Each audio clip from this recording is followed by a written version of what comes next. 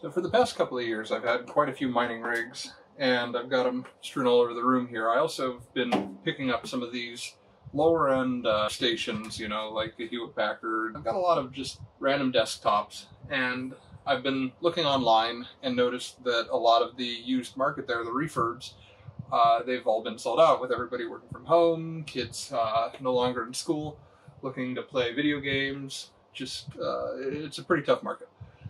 So, I've made a point of trying to take some of my old mining hardware and put them into some of these, uh, you know, workstation grade desktops. Uh, and I really want to see how they perform. If they perform well enough, then I'll probably try to sell them on Craigslist. But uh, the intent of this video series here is uh, I'm going to be building some machines and I'm going to benchmark them. Uh, things like you know, Fortnite, Overwatch, uh, as well as some Cinebench and uh, other software, and see you know if you set a target of around 250 or 300 dollars, what kind of equipment you can get. Uh, and so I just want to build some build some machines and see how well they they work. So the first one up here is I've got a uh, an i3 40 uh, 4170 CPU, so fourth gen i3. Uh, it's the mid mid end, uh, and then I've got a GTX 1050 in here, not Ti, just regular 1050, uh, as well as 8 gigs of RAM. And so I'm going to run through and see how it does. Uh, we'll take a couple of minutes to also open up the case and check out what we've got inside. All right. Okay, so let's break this computer open here. So we've been lay down a towel just to keep the case as pristine as possible. In here we have a GPU and uh, let's see if we can get a good view of that. So we'll take off the tripod here. So you got your CPU, you got your GPU in this case. It's an MSI single fan 1050. Uh, and then down here we have two DIMMs of RAM. So now with the location of the SATA cables back here, let's see if we can get a better angle on that. Uh, you can't really go any further on your GPU because then you're going to hit your SATAs. We line that up right here. Going to be able to handle maybe a 7 inch long GPU. Uh, again, this one looks like, oh, I guess including that, you're 7, so you're probably going to be able to handle about an 8 inch. So, overall though, we've got the uh, spinning disk here for games, hard disk, you've got your SSD here, and we got the CD-ROM also hooked up, don't know why anymore. Um, but then, again, because this card is under 75 watt, all of it can be powered by the motherboard. So, overall, this is what the inside is going to look like. You end up with, uh, and then underneath this graphics card, which you can't see, you may be able to see down there is a PCIe X1 slot, so the graphics card covers that. Um, you got some some solder joints there, so in the event that the OEM, in this case HP, did want to have another PCIe X16 slot, they could. Um, but then we have three SATA connectors that you can kind of see in there. So you got a blue one, a white one, and another blue one. Two shades of blue and a white. Uh, get your regular power connector there. Got your four pin or eight, uh, yeah, four pin for your power supply in. You got a bunch of space all the way back there. So, so a quick height measure for GPU before it would hit the case. So from there to the uh, case is probably you'd safely be at about five and a half inches. So, for example, this one right here is at four and a half. Uh, so you could actually probably get closer to uh, right there. So under six, five and three quarter. But overall, it's not a badly built case. Uh, it's got a lot of room inside if you didn't have those SATA cables there. Again, if you got some right angle adapters, Uh, like I don't have any here, um, but with some right angle adapters, those may be low enough that you can put your uh, a longer GPU in. And if you had it go all the way to the back, uh, you're running uh, what uh, 12 inch, around a 12 inch card. Uh, again, that may end up interfering with your your disk drive here. Um, but you got a lot of options, right? But now this does not swing out, so that would be an issue to get a card in, right? You can see we've got uh, some pop rivets here, top and down there, even in the bottom. So this panel, I mean, you could remove it, but that's kind of a, a terminal removal. Uh, and then we have the ability to pull off the front panel. So let's see. Uh, plugged our USB. Uh, it doesn't look. Uh, I think there may be a spot there for a case fan in the front, but I don't see any obvious hole pattern there. Uh, it's pretty bare here. Your power supply appears to be a standard ATX format. Um, and because you just have the regular connector on the board there, uh, you could just upgrade. So you should be able to just pull this power supply, put in a much beefier one, put in all your hardware. Again, CPU probably going to be pretty easy to change. You do have uh, somewhat, you know, these aren't just flat heads like you'd see most of the time. Uh, they're hex style. Uh, here's a better example. So a large Phillips will work fine, or if you've got the the star driver bit uh, to get to all of those, that'll be able to get you in. But overall, this is the machine here, and it's a pretty good deal.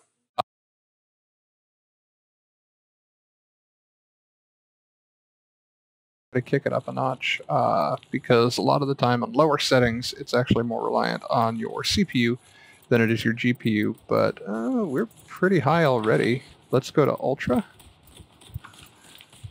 Apply. We'll go back to the practice range here on ultra and we'll check it out. And it should be more reliant a little bit more on the CPU but it should be focusing a lot of the oomph on the GPU, so I think we'll be able to keep our frame rate here while utilizing a little bit better. Yeah, so as you can see, we're now at 80 or 90 FPS, 60, 70. Uh, we're pretty comfortable here.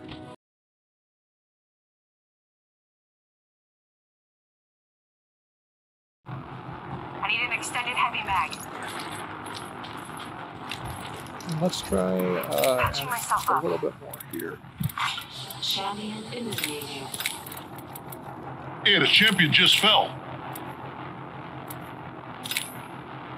Scanning the area.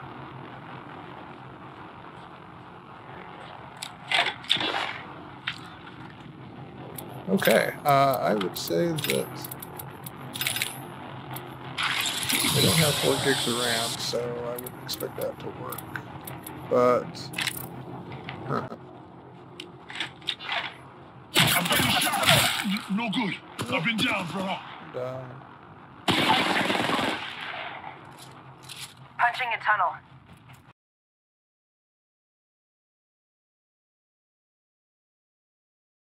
sure what those are for. Let's go back to settings.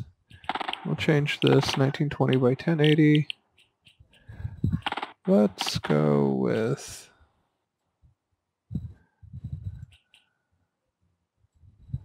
we'll try 60.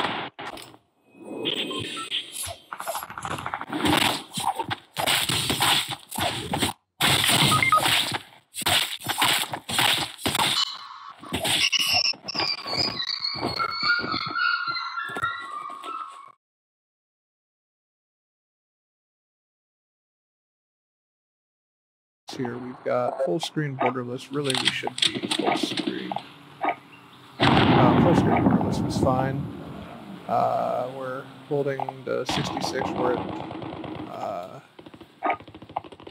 we're at uh, 1028 by 720, so 720p gaming here, which looks okay. Uh, and we're a mixture of late of 50 to 60. Uh, like I'm not noticing too much stutter here. So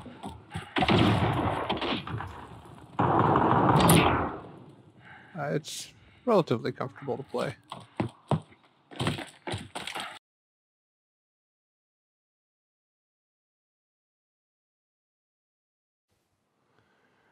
Okay, so we've got the HP ProDesk here uh, with the i3. Uh, the going to run is going to be Cinebench R20. So let's hit run and see what happens.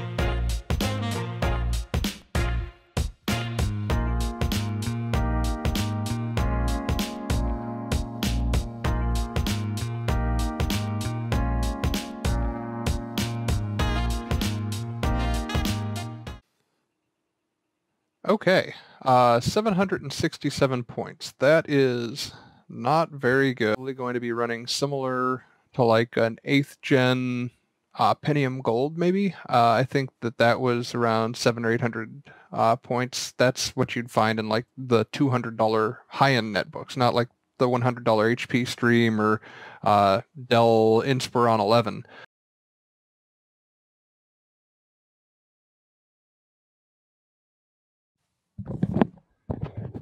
Okay, so now we're going to go ahead and run the full Passmark test here. So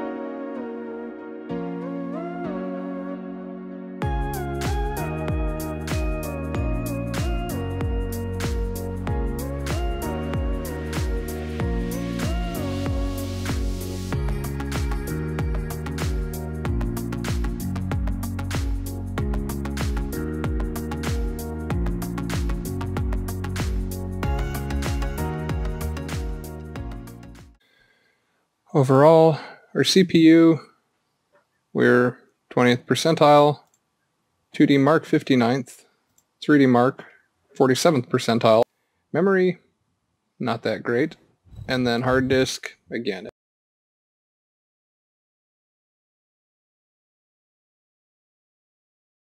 Overall, the HP ProDesk 280 G1 was a competent gaming solution for $235.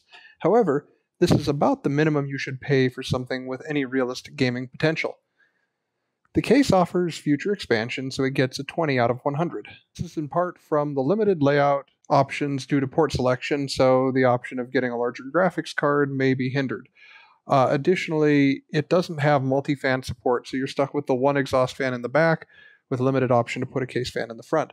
And lastly, it comes with a low wattage CPU, so future GPU upgrades may be an issue. Cinebench scores showed similar to an 8th generation Intel Celeron processor, which shows how far processors have come in the past five years. Passmark showed the system to be solidly in the low end of acceptably capable, and Overwatch could be played at max settings. Fortnite could be played on medium and still had some stuttering, though even on higher end systems it still stutters. Apex played smoothly on high with minimal frame dips, and COD played at 720 but struggled to keep up. So if COD is your target game, then you're probably going to need a computer with a better CPU and GPU. Overall, it had a score of 718, which shows that it's good value of money when it comes to doing light gaming and gives some future upgrade ability. Please note that these costs are a little bit inflated on this system due to the coronavirus clearing out a lot of our used market This video has been a lot of fun, but I would appreciate any feedback. So please leave a comment for things you liked or didn't like, uh, and any areas for improvement. Again, this is my first video here, so I'm still learning and trying to get the hang of everything. Thank you.